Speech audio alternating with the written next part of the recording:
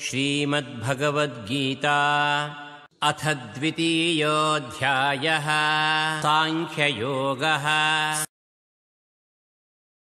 दुःखेष्वनुद्विग्नमनाः सुखेषु विगतस्पृहः वीतरागभयक्रोधः स्थितधीर्मुनिरुच्यते। Krishna continues One who is not disturbed in mind, even amidst the threefold miseries, or elated when there is happiness, and who is free from attachment, fear, and anger, is called a sage of steady mind.